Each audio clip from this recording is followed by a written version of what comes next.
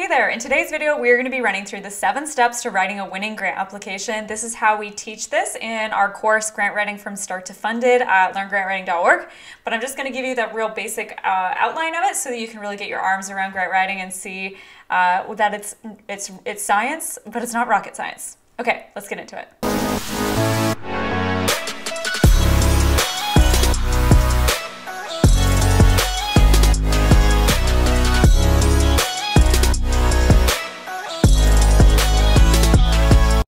So step one is preparing for success. Let's run through what that looks like. You're going to want to organize your files.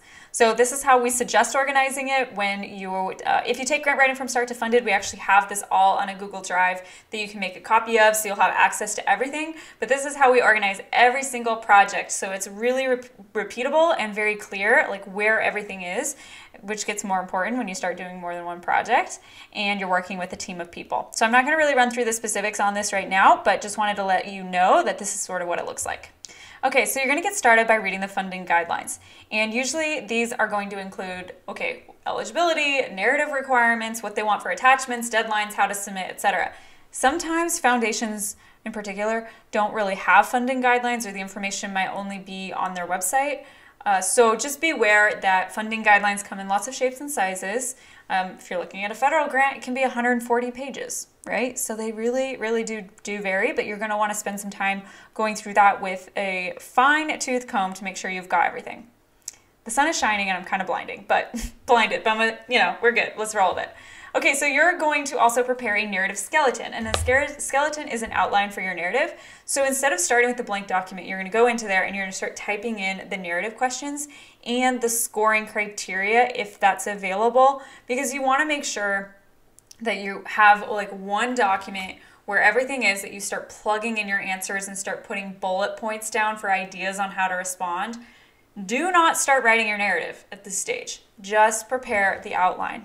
Okay, so that's the kind of quick and dirty version of how to prepare for success, but now we're gonna move on to step two, which is rocking your kickoff.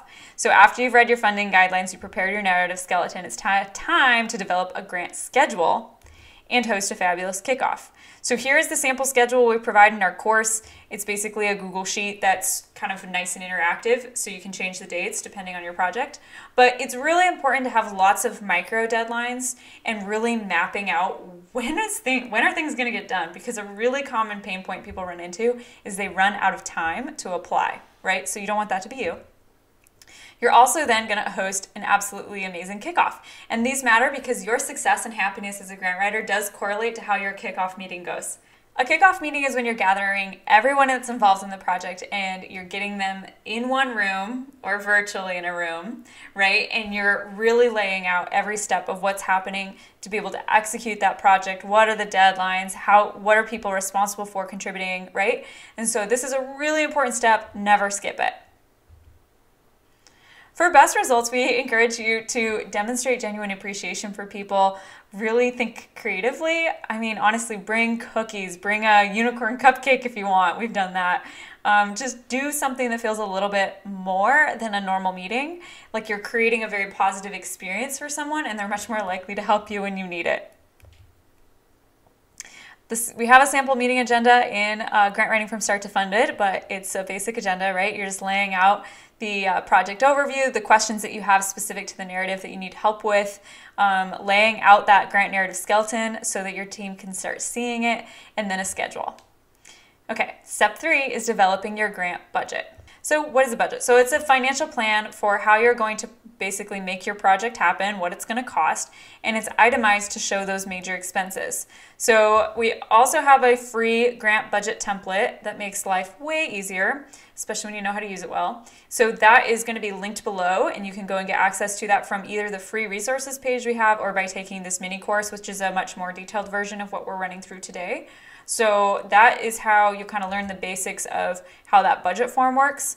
But basically, it has a personnel tab, fringe benefits, travel, equipment, supplies, contractual, like if you're contracting to have someone else do the work, it's not you, construction, if that's pertinent, um, other direct costs, indirect, which are things that are not particularly, like, can't be readily identified with the cost of a project. So, like, an indirect cost is like the electric bill like what percent of your electric bill goes to this project? Like, and you don't know that, right? It's hard. So, and then cost share is match. So maybe you've heard of that term. So it's how much funding are you, the applicant, or other sources helping pay towards this overall project cost. Now, now budgets can get really confusing, so we're not going to go way deep on that right here because I already have recorded a much better version that you can go and um, watch. But just understand that it's really important to be spending time knocking out that budget as fast as possible and not putting it off. Uh, because you need to know how much your project is going to cost and it influences so many other parts of your narrative. Okay, step four is spending some time paying attention to those key attachments.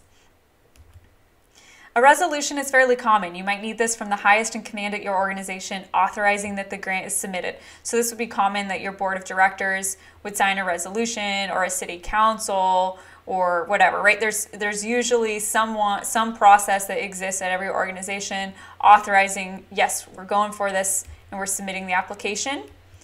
Um, I'm going to skip through this for right now. Letters of support, another fun hot topic, right? So this is, um, and I can link to a blog post we did on this, but getting quality letters of support super fun. It's so great reading them when they're heartfelt and, and they have great, they're kind of like free narrative content, frankly. And a lot of people just don't manage this process very well and they get all these cookie cutter letters and that's worse than no letters so um, and they're not always required so be aware of that but if you are going to be gathering letters of support it's important to have a good process around collecting those Okay, so those are like the two main attachments. There's several others. They always depend on what your specific project is, but those are the ones that are the most time consuming, so the ones we wanted to talk about. Step five is writing your narrative. Now you might have this memorized because I've been running through all of the steps, but I'm kind of skipping through them right now. But all right, so what's a narrative? It's a written description about your project. Who's going to do what, how you're going to do it, who's benefiting, and why it needs to be funded. You're going to want to prepare your first draft as soon as possible. And and I mean messy, messy work. It's just like throwing those ideas down, no complete sentences. Just you want a top to bottom draft done in eight to 10 business days at most.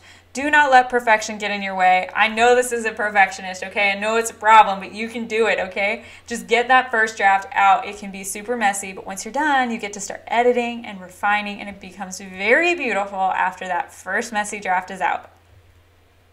So we talk about a lot more tips in the course, but that's sort of the basic on yes, you're spending time doing your writing your narrative, quite a bit of time potentially. Now, also, when you're writing your narrative, you want to be thinking about how you can be most persuasive and how you can use data to really back up what you're saying because A, it makes easy it makes it much easier to write your narrative because you're building a strong case and you're using you're just using information that exists. So you don't have to come up with all this uh, your own content, right? So it helps establish urgency and credibility and persuasiveness. So I'm going to skip this example, but the most common place that you can go and find demographic data is, of course, if you're in the US anyway, it's the census.gov. If you're in another country, you're going to have something similar. Um, they're not the most fun websites to navigate. Gonna be honest about that. We have a, um, some training on how to use them, but it is where you go to get the most basic information you've got to have, which is going to be what are my unemployments and poverty level, median household income, what percent of this census tract that we're serving receives food stamps, right? Like, I mean, obviously, this depends on the specifics of your application. But pretty much every one of them needs to have some demographic data, so be sure to get comfortable using census.gov. So we actually had Alexis Swenson, who is a former student of Grant Writing from Start to Funded, and she's the founder of Goods of a Soul. Uh, she actually cut that video for us when we explain how to use census, uh, how to use census.gov and get good data. Now, writing persuasively is very important. Your project is worthy of funding, but so is someone else's. So you have to be convincing that you need it the most. So remember that grant writing is persuasive writing. Now, you're writing to always emotionally move your reader and you want to really get to their heartstrings. And so be thinking about the story you're telling, not just the what, but the why, right? The broader picture. Why does this really matter? And doing so will help you establish urgency. And urgency is key. So you're like, we need the funding now, not in the future. We need we need it now to have the impact that we promise we can make.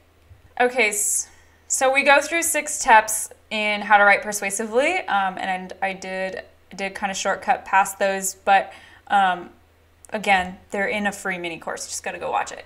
Um, just didn't need to refilm the whole thing.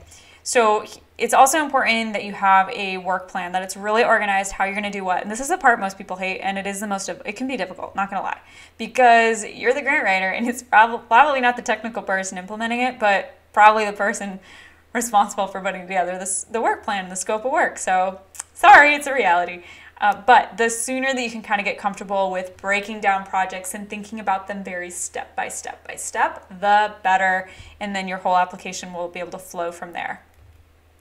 Okay, so step seven is actually submitting that bad boy. You're gonna get that application turned in, right? So you're on the home stretch and we're gonna be covering how do you package this application, why you should have an independent review, debrief meetings, and sharing your wins. Okay, so in terms of design, your effort in making the application a beautiful design is going to correlate to how competitive the grant is and then what the grant guidelines tell you to do. Some are going to say Times New, Ro- Times New Roman size 12 font. So that's all you can do. But you can still get creative when you're using bold and italics and underline to try to make the most of making your application easy to understand.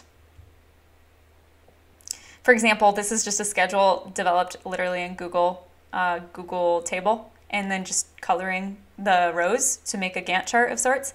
So easy. You can do it. So little things like this though can go a really long way to help making things more visual and not having to um, yeah rely on words only. When you're packaging your application, this is big, this is big. Package your attachments carefully. Do not include everything possible under the sun into your attachments. They don't want that. It needs to be really short, really to the point, okay? And then be sure to name it something that's very clearly identifiable. So like Portland underscore budget.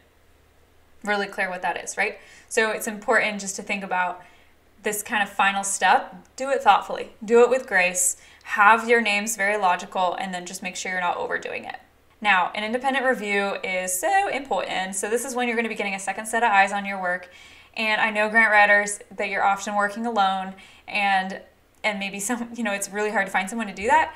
Um, but it's just in, it's imperative. So be sure that you find someone in your organization that can have a look at it. They're checking hyperlinks work, right? They're just looking for those final errors.